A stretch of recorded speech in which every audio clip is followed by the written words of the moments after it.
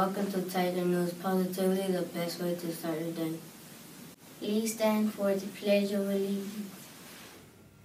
Hi, this is Miss Tracy, and we're going to recite the Pledge of Allegiance. So take your right hand and put it on top of your heart.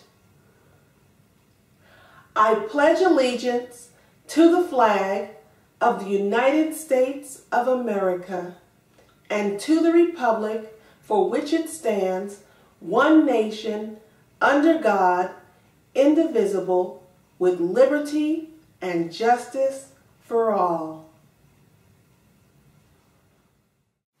You may be seated. Please pause for a moment of silence.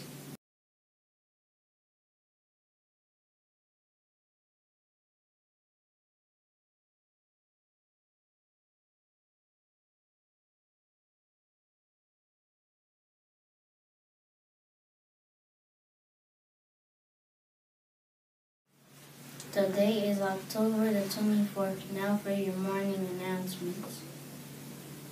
Students, please remember that uniforms must be worn Monday through Thursday. This week is Red Ribbon Week. Don't forget to wear your crazy socks tomorrow to socket to drugs. Now it's time for Motivational Monday.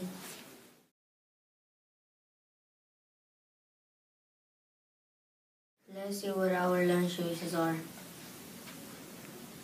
Sounds good.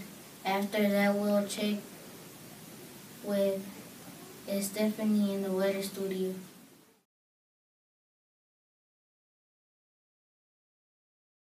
Will be sunny with a high of 84 and a low of 52. There is no percent chance of rain in the forecast, not back to miserable. Thanks, Stephanie. That's all we have for you today. Have, have a wonderful day. day.